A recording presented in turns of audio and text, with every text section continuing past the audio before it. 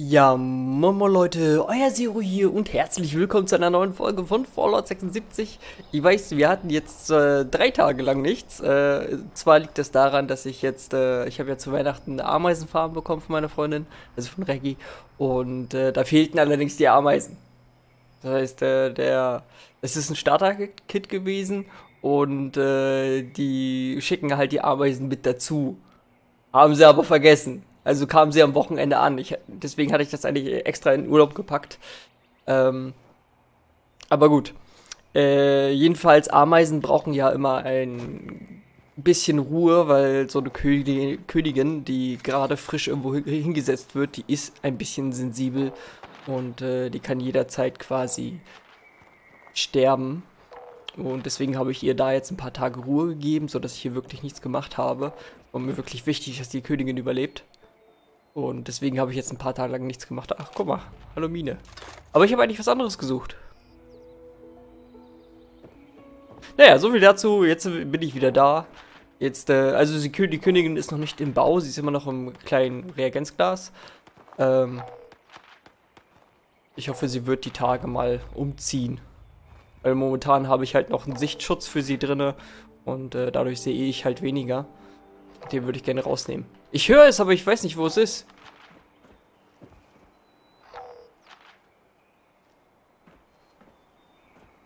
Hier oben scheint es nicht zu sein, oder? Ah, Klebeband. Ne, hier oben höre ich nichts.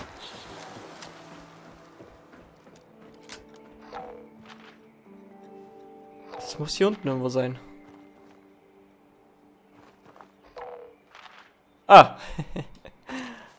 So, ich habe gelesen äh, in einem Ladescreen, dass diese Dinger auch nicht für immer halten. Und da steht da wirklich nicht drinne, wie lange die halten. Ich weiß nicht, ob der Ladescreen gelogen hat oder... Ich weiß es nicht. 50% Chance auf doppelte Ausbeute durch Pflanzen. Ich klicke da jetzt mal drauf. Und rein theoretisch müsste es doch hier jetzt irgendwo verzeichnet sein.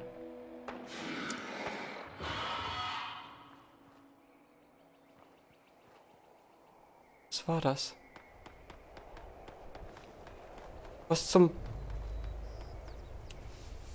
Ah! Okay, ich werde unsichtbar. War es vielleicht das? Alter, war doch irgendein Geräusch.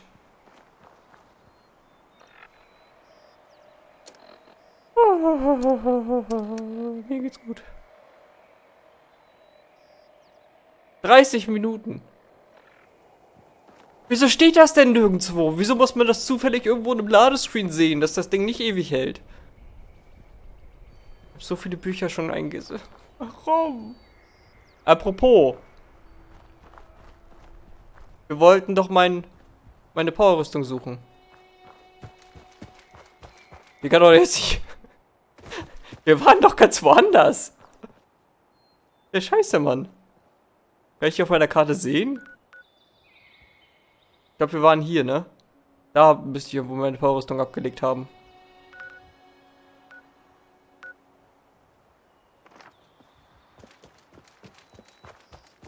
Es war irgendwo zwischen irgendwelchen Gebäuden, ne? Aber jetzt mal ganz ernsthaft, Leute. Was war das gerade eben? Da kam ein Geräusch, es wurde plötzlich orange und dann war alles weg. Es war hier in der Nähe, definitiv. Gut, ich muss mal kurz Orientierung fassen. Ich nehme die erstmal weg, das brauchst du ja nicht mehr, ne? Danke. Oh, das nehme ich dir auch weg.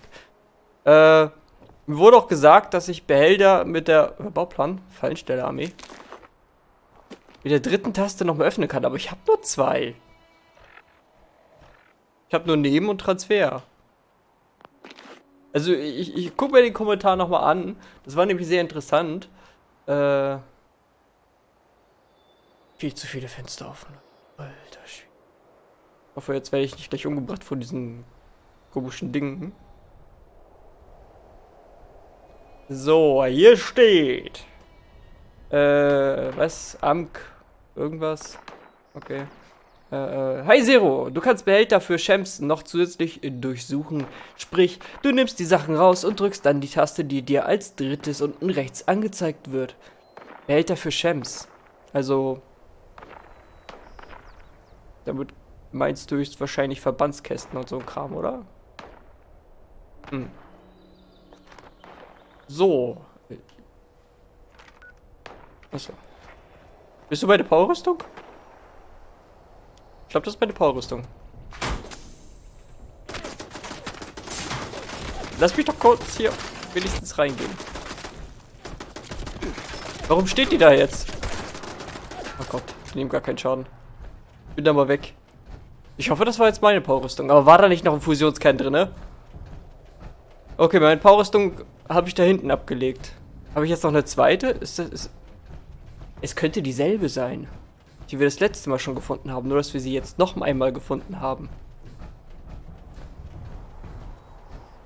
So, wir waren ja da hinten irgendwo. Irgendwo war da hinten ja der Auftrag. Irgendwo hier um den Dreh. Bin hier lang gegangen.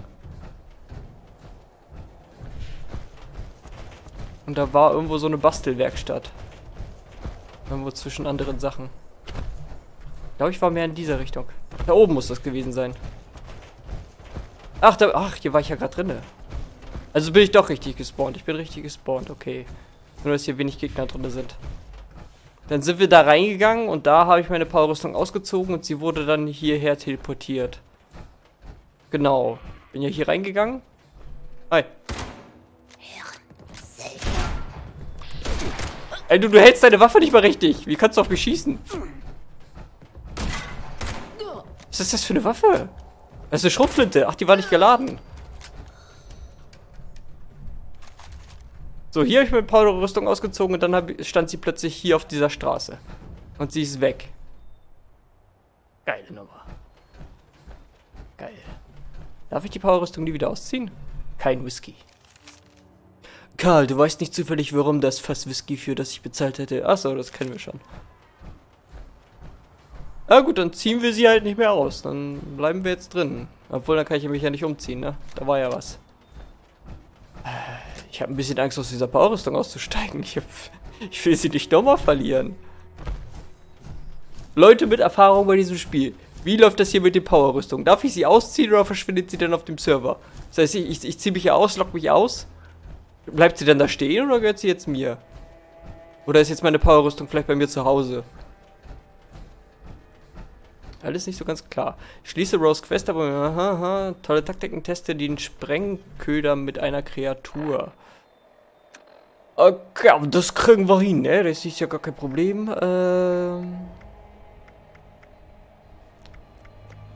Wo ist der Sprengkörper? Ja. Okay, jetzt brauchen wir nur eine Kreatur. Irgendwas Kreaturenmäßiges. Du bist ein Supermutant und keine Kreatur, ne? Ich mach so absolut gar keinen Schaden. Ist ja nahezu traurig. Und vor allem ist der auch wahrscheinlich nicht alleine. Na, guck mal, da. Ja, schießt mal mit drauf, Leute. Kann ich gut gebrauchen. Jetzt wird von allen Seiten geschossen. Okay, das sind noch mehr Supermutanten. Aber ich schieße lieber auf den Supermutanten, weil der, glaube ich, ein bisschen tankiger ist. Ja, Ah, was habe ich eigentlich noch für Waffen? Ach, die Waffe stimmt. Da habe ich mir extra Munition hergestellt. Na gut, da ich dich sehen kann, schieße ich auf dich. Mr. Meister. Komm schon, Hedy!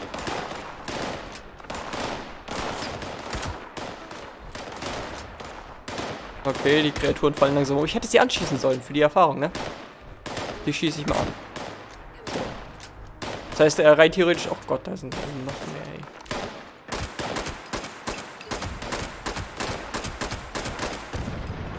Die Waffe ist cool. Ah, Erfahrung, ja.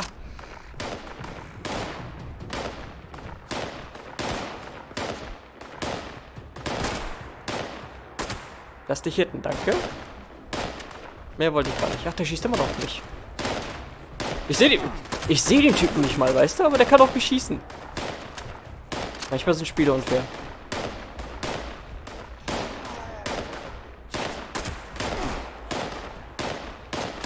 Okay, ich brauche mal kurz Molly. Ja, toll. Surprise! Oh nein, sie ist am Busch hängen geblieben, oder? Nein. Alles gut. Ja gut, das hat so irgendwie gar nicht geholfen.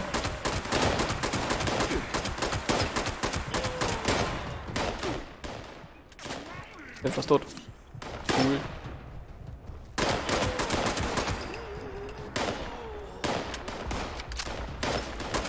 Wir müssen halt auch äh, demnächst nach Hause, um mehr Kerne zu holen. Ich werde diese Rüstung nämlich nicht mehr ablegen. Jedenfalls nicht so bald. Wieso hattest du einen Brustkorb dabei? Und wer schießt dann noch auf mich? Wieso lebst du überhaupt noch ganz gut? Oh Gott, ich komme mal zu dir, ne? Äh... Na, jetzt muss ich auch noch nachladen. Ich werde von allen Seiten angeschossen. Es ist übrigens nicht die beste Taktik. Komm. Auto. Okay, ich, glaube, das hat mir ein bisschen mehr Schaden zugefügt als äh, dir. Okay. Ich habe übrigens keine Stims mehr. Oh, also, ich habe noch elf Munition. Oh Gott. Aber wieso ein Schuss? Achso, das, das ist die falsche Waffe. Oh mein Gott.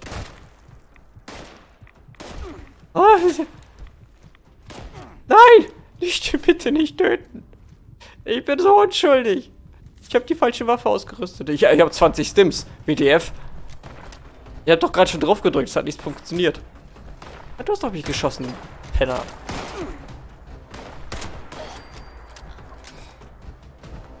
So, ich bin wieder da, mein Freund.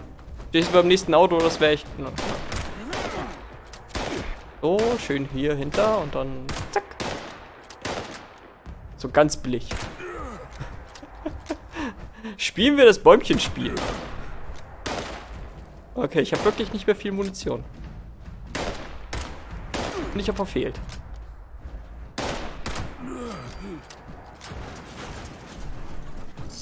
Wieso hörte sich das an, als wäre eine Powerrüstung runtergefallen? Okay. Wir brauchen also eine Kreatur. Ich würde sagen, wir, wir machen das mit der Kreatur, wenn wir denn eine sehen. Und dann äh, fliegen wir kurz nach Hause. Oh, hi. Hier. Schnappt zu euch! Hallo? Ey, gu guckt euch mal das leckere Essen da an. Leute? Ich, ich bin ja wohl nicht schmackhafter als das Ding, oder? Wo sind die hin? Kann ich das irgendwie aufsammeln? Ich weiß es nicht. Hoch auf brutale Effizienz. ich schätze, die Fallensteller hatten kein Problem damit, Splitter aus ihrer Beute zu holen. So grausam die Fallensteller auch waren, die Knallharten waren das genaue Gegenteil. Lassen Sie sich von dem Namen nicht täuschen. Wir nannten sie scherzhaft so, weil sie sich standhaft geweigert haben, ihre Würde aufzugeben und nicht ohne Anlass tätig werden konnten. Ich weiß nicht viel über ihre speziellen Taktiken. Hatten sie überhaupt welche? Keine Ahnung. Vielleicht eine Todeskralle zu finden und sich mit ihr anzufreunden oder so.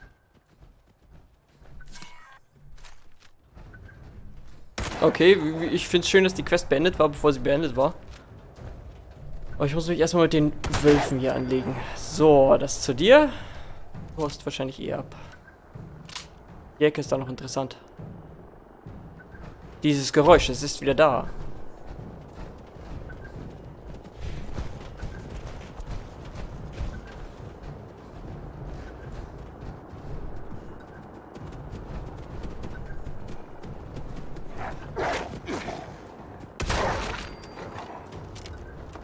Okay, wir haben den Ursprung des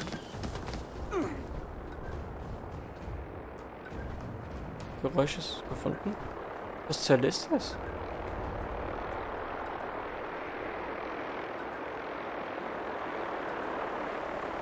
Silo Bravo Code Abschnitt R9.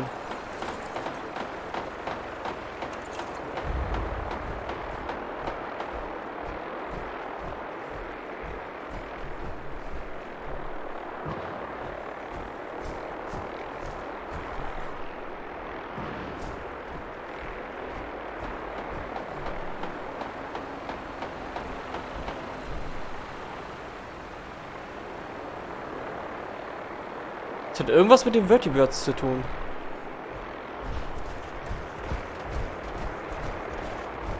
Und das Geräusch ist auch weg.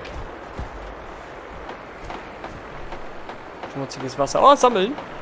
Ich sammle gerne schmutziges Wasser. Ja, ich bin überladen.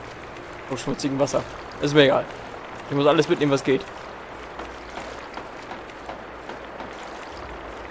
Habe ich so viele Behälter, dass ich das sammeln kann?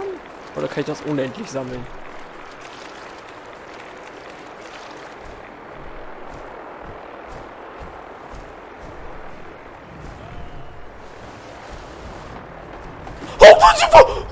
Lauf doch! Ich kann nicht laufen. Oh, ich bin überladen. Ich, ich wollte, nein, ich wollte hier nicht herkommen. Nein, ich, ich kann nicht laufen. Ich kann nicht laufen. Ich kann nicht laufen.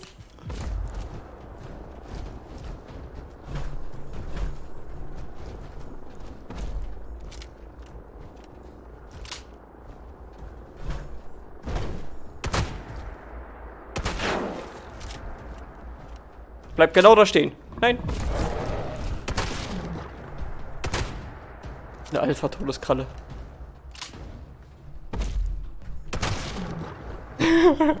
oh, aber Tuf Tuf kommt nicht zu mir.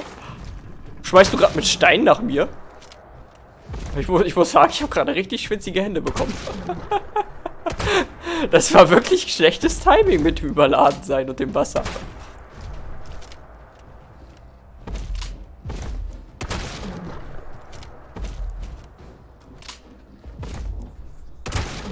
Hau ab! Geh zum Auto da. Dann kannst du explodieren, wenn du willst.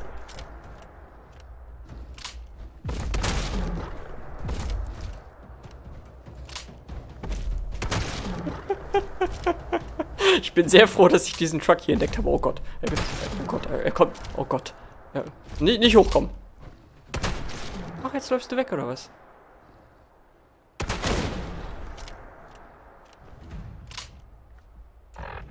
Was habe ich noch für Waffen? Nicht!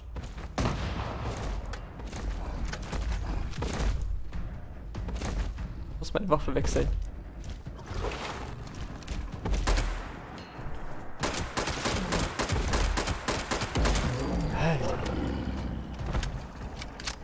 Moorschatzkarte. Oh nein. Aber das sagt mir jetzt gar nichts. Okay, wir wissen Bescheid. Alter.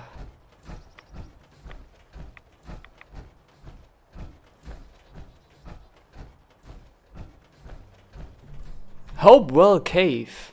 Okay. Kein nettes Cave.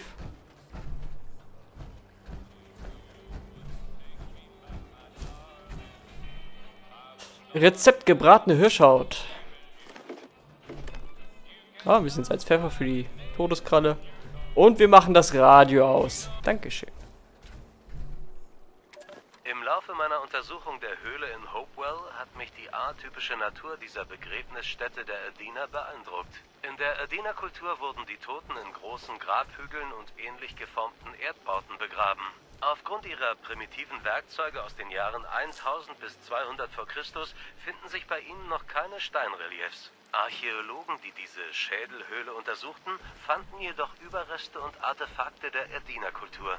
Ist es möglich, dass die Überreste der Erdina erst an diesen Ort gebracht wurden, als ihre Gesellschaft aufgehört hatte zu existieren? Dass eine Kultur die andere mit solcher Wertschätzung behandelt, wäre höchst ungewöhnlich. Ich werde mit meiner Forschung fortfahren. Hoffentlich gelange ich zu neuen Erkenntnissen.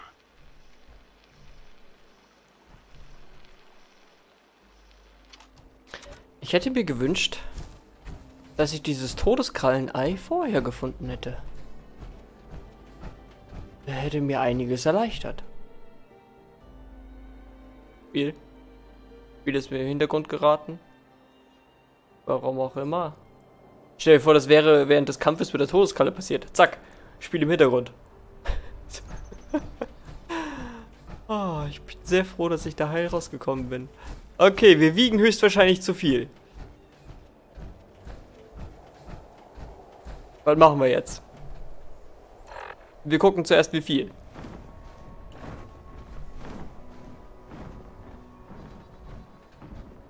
Bleib da, wo du bist. Okay, äh, wir wiegen 80 zu... 80? Was, was habe ich denn mitgenommen? Bleib, wo du bist, Typ. Bitte. Ah, den hier? Ah, der wiegt ja nicht so viel, oder? Boah, 19. 20 quasi. Und natürlich schöne Sniper, aber ab 35. Lass mich bitte in Ruhe. Ich habe gerade schon einen Todeskrallenkampf hinter mir. Das war schon ein bisschen zu viel für meine Nerven. Okay, wir wissen ja, wo eine Bastelwerkstatt ist. Wir gehen da jetzt mal kurz zurück und werden unsere Sachen auseinandernehmen. Bevor wir dann nach Hause gehen. So, der verfolgt mich da, oder? Gott, bitte nicht. Ich bin doch noch zu schwach.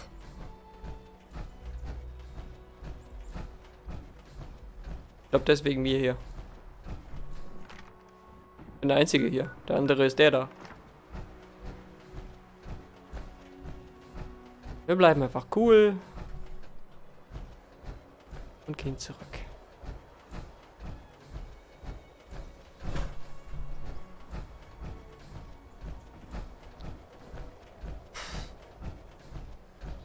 Wünschte mir, wir könnten noch zu Hause eine Bastelwerkstatt bauen. Das ist eins der wichtigsten Sachen, Munition herstellen. Und dann geht langsam der Ressourcenkrieg los. Weil ich, ich merke es immer wieder, dass es hier dann früher oder später einfach nur um Ressourcen geht, dass du, dass, dass der Sinn und Zweck, andere Spieler anzugreifen, ist, deren Ressourcen zu nehmen und äh, damit deine Munition aufzustocken. Und das soll halt einfach der Grund sein, warum man sich dann später bekriegt. Ressourcen. Ist nicht der 1A-Grund, jemanden abzuschlachten. Ey, der hat eine Golduhr, ich will deine Golduhr, Junge. Dann knallst ihn ab. Oder freust du dich? War niemand hier.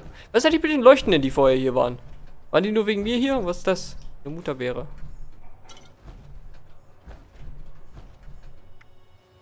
Okay, wir haben Brustkorb. Okay, also erstmal gesamten Schrott. Zack. Verlieren wir schon mal wie viel Gewicht? Ja, gar nichts. So habe ich mir das vorgestellt.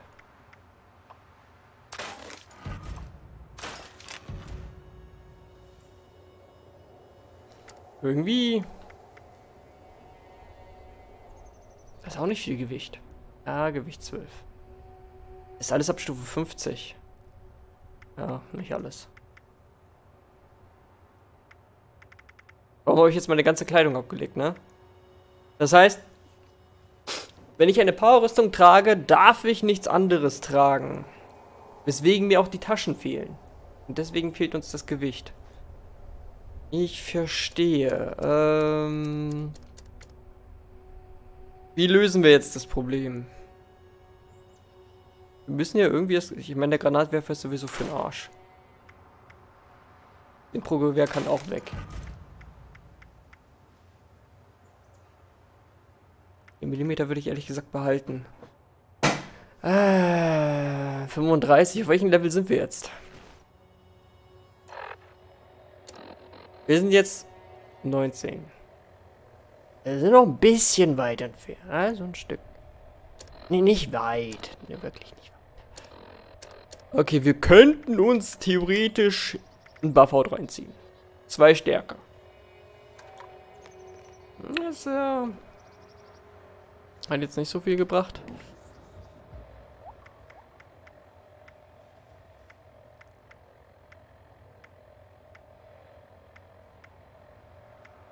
Ich würde gerne mehr tragen können. Ich meine, was zur Hölle wiegt denn hier jetzt so viel, dass ich da nichts tragen kann?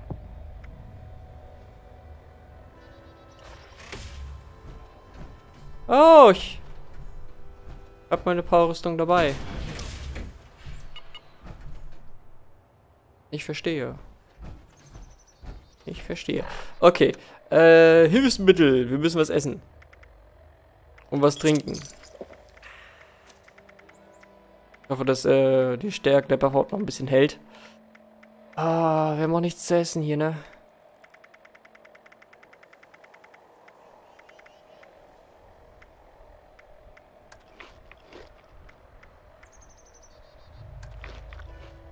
Ich bin nicht krank geworden. Perfekt.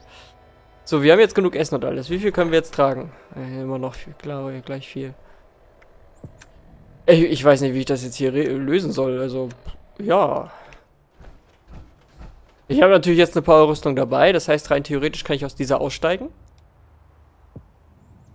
Ja. Aus, aussteigen. So, wir nehmen den Fusionskern mit.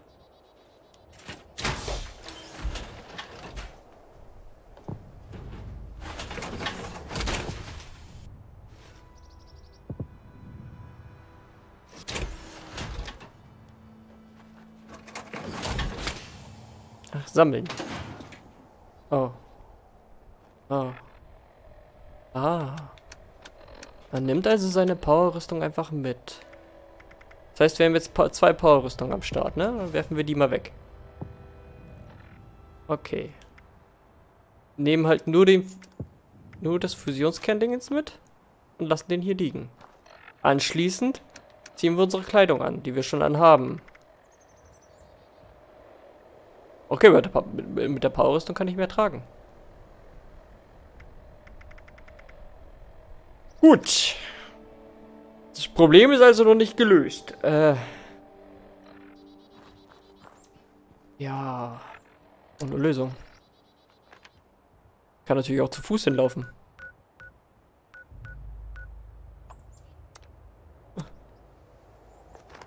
Was wiegt denn bei mir so viel? Okay, äh, eine Lösung wäre es, bis dahin zu laufen. Weit weg. Also, ich... Okay, wir müssen hier ein bisschen an Gewicht loswerden. Ähm... Wir haben wahrscheinlich eine Milliarde Wasser dabei, ne? Ja. Ja. Haben wir das Problem auch schon gelöst. Okay. Äh, wir steigen in diese Powerrüstung ein. Ich meine, da haben wir ja zwei Stück. Zack.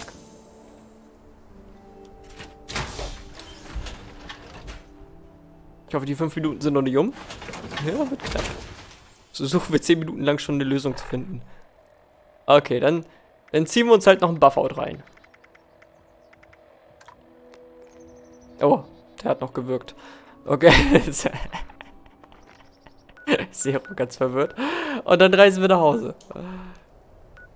So. Problem gelöst. Und dann lassen wir die Powerrüstung da stehen zu Hause und hoffen, dass sie da bleibt. Aber wahrscheinlich brauchen wir ein Powerrüstungsgestell dafür, ne? Dass sie da bleibt, wo sie ist. Ich bezweifle, dass sie nämlich am nächsten Tag noch da sein wird. Aber wir haben ja noch unsere andere im Inventar. Die behalten wir dann auch erstmal im Inventar, bis wir dann so eine Powerrüstungsstation haben. Und dann gucken wir mal. Ja, und damit würde ich sagen, äh, wir lassen die Powerrüstung erstmal so an und dann suchen wir morgen eine Lösung dafür, wie wir sie behalten können. Also muss nicht sein, also ich werde, das, ich werde den Fusionskern höchstwahrscheinlich rausholen und dann gebe ich einen Scheiß drauf, weil ich habe ja meine Chases dabei. Ne? Gut, Freunde, dann würde ich sagen, sehen wir uns morgen zu Hause wieder. Nähere dich einer Todeskralle und freunde dich mit ihr an. Wie? Wieso? Warte, warte, warte. Bevor wir die Folge beenden, was und wie? Achso, da hinten ist noch ein Tippi. Warum? Wo soll ich mich... Ich... Was?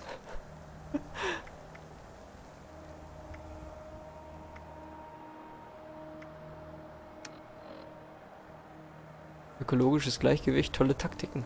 Wo ist denn diese tolle Taktiken? Laut Rose waren die Knallharten nicht so aggressiv wie die anderen Raider. Äh, sie möchte, dass ich mich mit einer Todeskralle anfreunde. Es klingt zwar verrückt, aber es könnte vielleicht funktionieren. Näher dich. Okay, gut, das war Zufall, dass wir gerade eine gesehen haben, aber ich wusste nicht, dass wir uns mit der anfreunden sollen. Irgendwas schießt auf mich.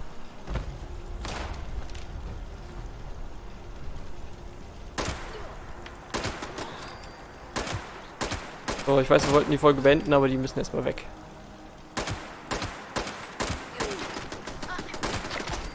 Ja, Challenge abgeschlossen. Nice. Gut. Wie viele...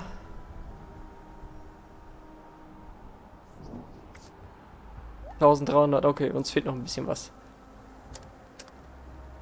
Wieso ist Ehrengard ist bei mir als Freund drin? Egal.